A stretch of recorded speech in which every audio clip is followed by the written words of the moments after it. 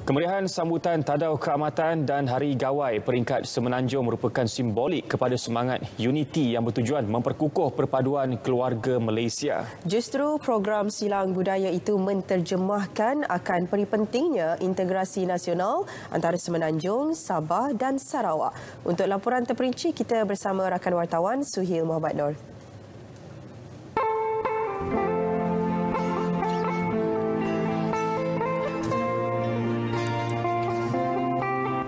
Program Ramah Unity Keamatan dan Gawai tahun 2022 yang julung kali diadakan bagi peringkat Semenanjung itu merupakan kerjasama antara Kementerian Perpaduan Negara dengan Persatuan Anak Borneo.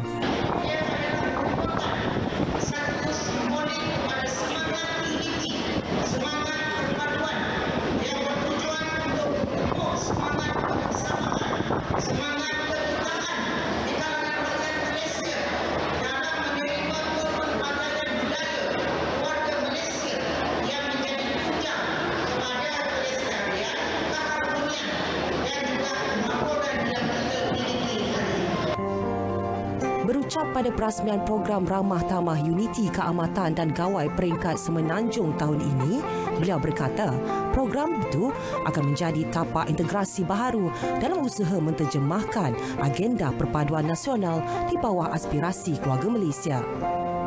Antara pengisian menarik ialah program Ratu Pesta Menuai di Tabika Perpaduan, pertandingan memperagakan busana tradisional Borneo, pameran cita rasa, menu keluarga Malaysia, menu Sabah Sarawak dan pameran kraft tangan.